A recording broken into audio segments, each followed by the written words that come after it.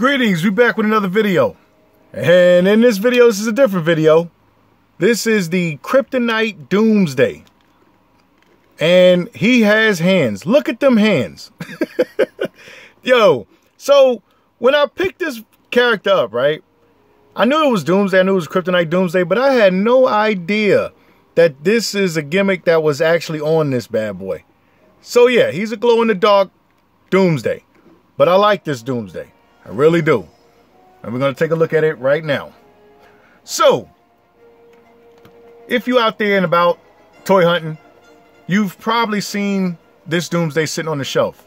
And even though it shares the same sculpt as our other Doomsday and our other Batman Doomsday over here, which I customized, we now have a new Doomsday, which is a more darker shade of uh, gray, which I like, which I wish this was, but given characteristics and everything, and when I break down the history of this particular Doomsday, you're going to understand exactly why there's different variations and different versions of them.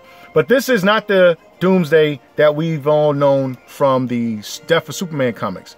This is a different Doomsday named Joshua Walker, All-American Boy.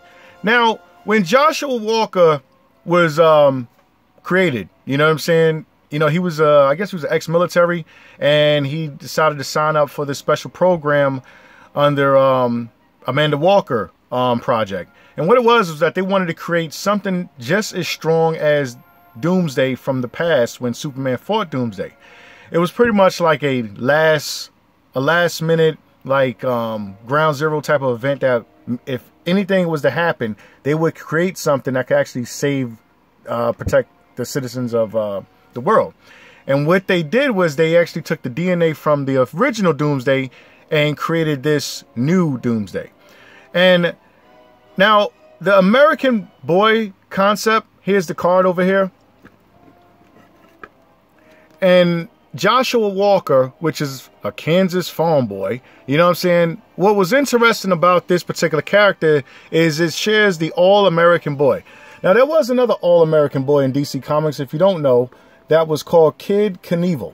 And Kid Knievel was this evil little kid who was pretty much a villain, okay, in the DC universe. And he was just going around massacring people. He was actually a villain. He actually joined up with Joker Squad when the Joker brought all of the uh, bad guys together. And I guess they were doing something. I don't really know the storyline too well. But Kid Knievel looked up to the Joker. And there was one scene in there where he pretty much told Joker that, you know, you are so awesome. Like he looked up to Joker. And you know what I'm saying? He told Joker, like, I wish I could cut your face off and actually put it on mine to be you. And Joker just backhand him and is like, yo, kid, get out of here. you know what I'm saying? Like, there's only one Joker. You can't be Joker.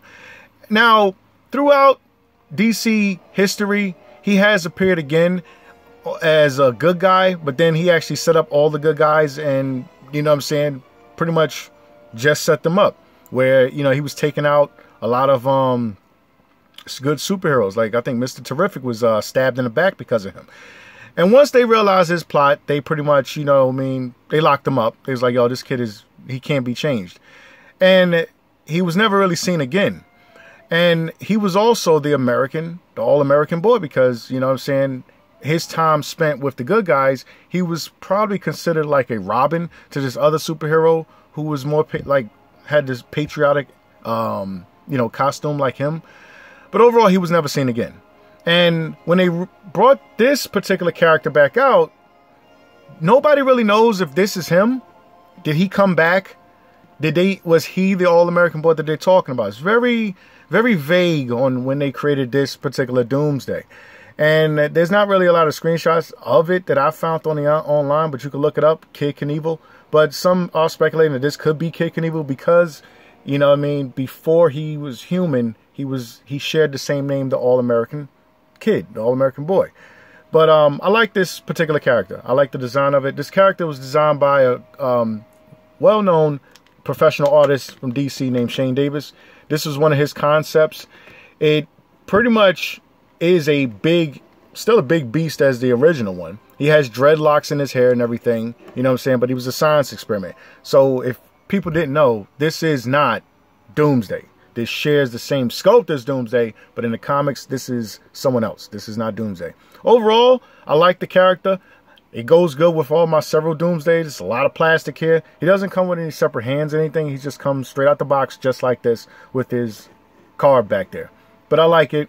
It's definitely going to look good on anybody's um, DC shelf if you do want to, you know, dip your toes into the glow-in-the-dark type um, action figures. This is the only, this is like the, the third glow-in-the-dark uh, action figure I got. I don't really get a lot of the other glow-in-the-dark ones, although I'm considering getting that Killer Croc that uh, Todd McFarlane just announced. But um, yeah, I like the character.